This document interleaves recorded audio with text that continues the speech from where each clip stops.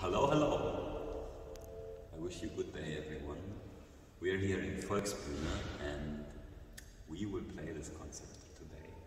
As you know, there is this lockdown light and we had to transform the settings and it will be an online concert now. I hope you understand and um, keep your tickets and you watch the concert with pleasure as we are playing with pleasure, even though it's, it's an empty, some empty seats still we will jam with you in our minds and we think of you and I hope you have a good time and enjoy life and see you soon in reality.